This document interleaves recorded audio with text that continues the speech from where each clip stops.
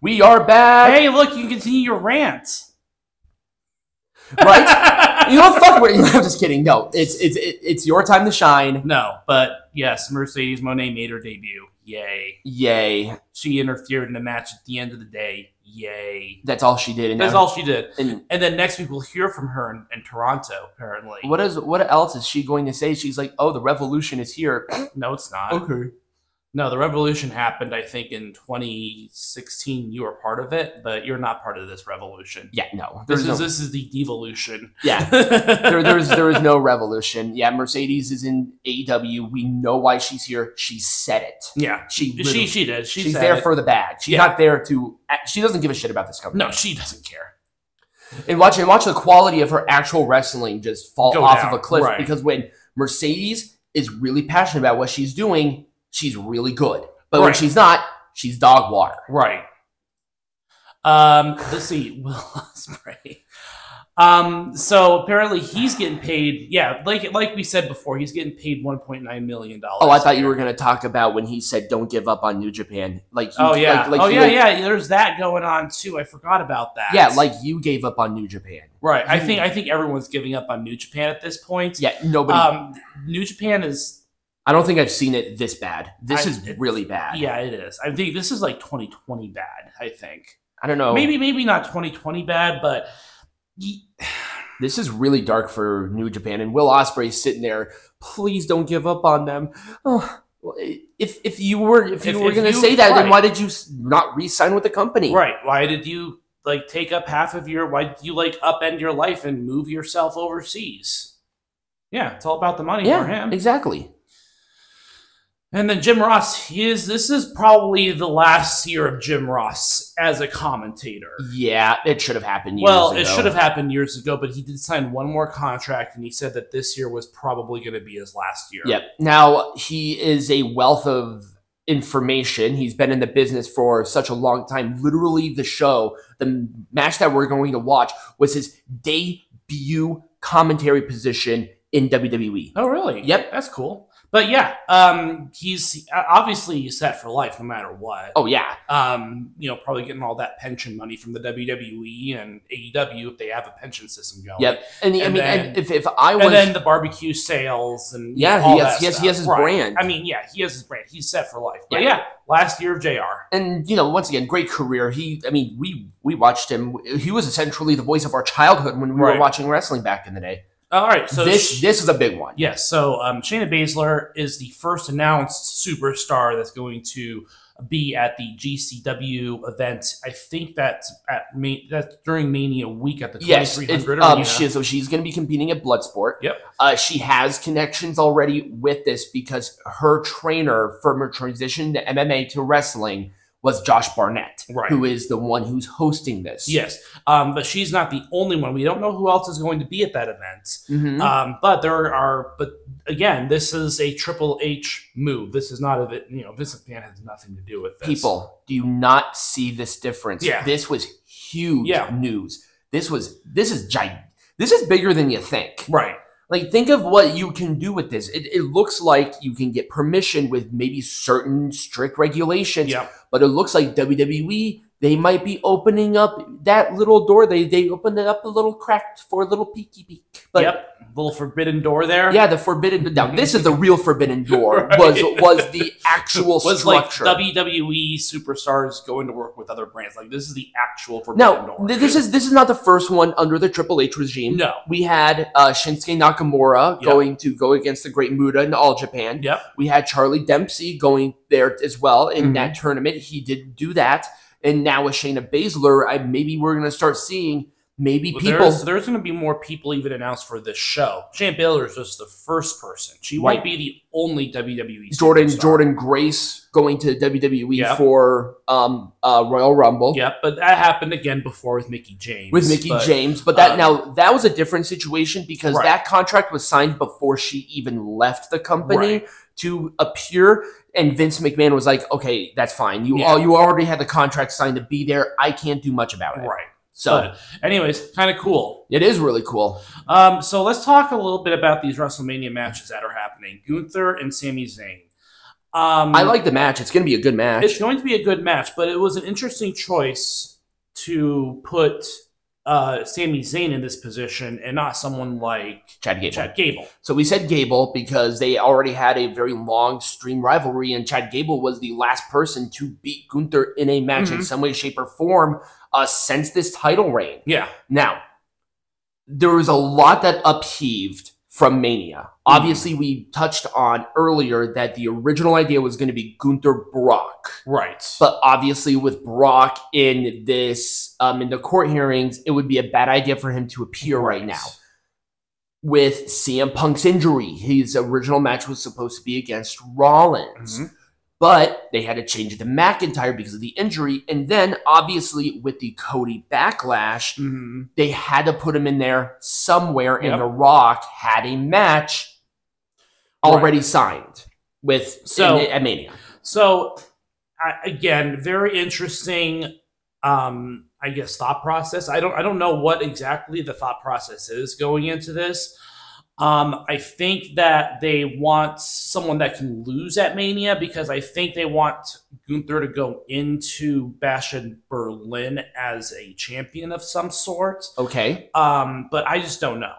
Um, but I think it's an interesting choice to put Sami Zayn in that position. Now, don't get me wrong; he's very popular and he's a great babyface. He's, been he's been well. Here's the thing about it just it just at the end of the day, it's just like why? well, I, I will say at least one thing about this is that Sami Zayn has had all the momentum in this situation. Mhm. He has been in the main event consistently. Mhm. He has picked up big wins against somebody like Shinsuke Nakamura, and that gauntlet match was good. He has been winning. He is Mhm. a winner. So him with all this momentum going into Mania, I don't think is a bad thing. No, I don't think so either. It's just an interesting choice.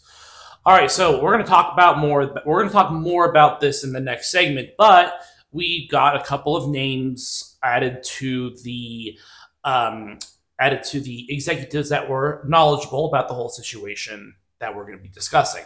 So It was Nick Khan. yeah, Nick Khan, Stephanie McMahon. I don't think that Paul Levesque was He was not. named. Well, he was at first, but then he was taken off, which adds my grievances. Right. Um, we had uh, uh, something Burry, yeah. And then there was something Nurse. So there were there were four executives Yes. that at least had some sort of knowledge. That that what has been happening has been happening. yes, Um, but we'll talk more about that in our next segment because we just made that. we're, we're gonna we're gonna talk about it more in depth. Oh yeah, absolutely.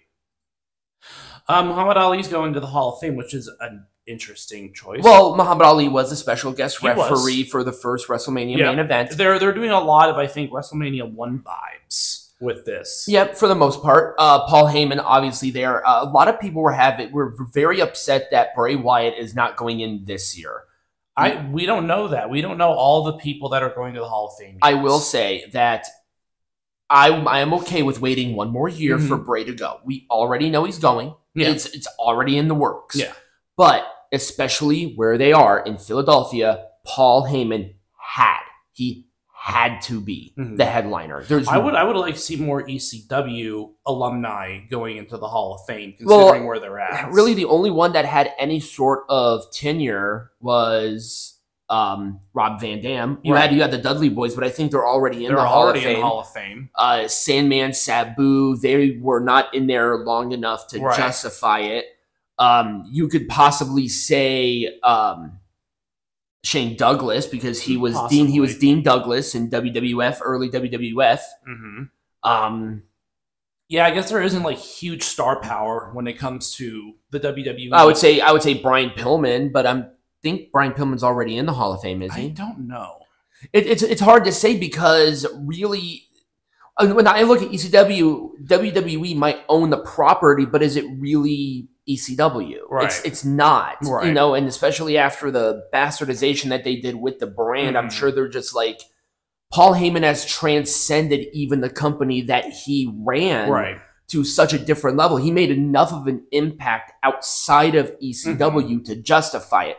And the same thing with Rob Van Dam, the same thing with the Dudley Boyz. And I would even say the same thing with Shane Douglas, but Shane Douglas, I think, made more of an impact in ECW. Right.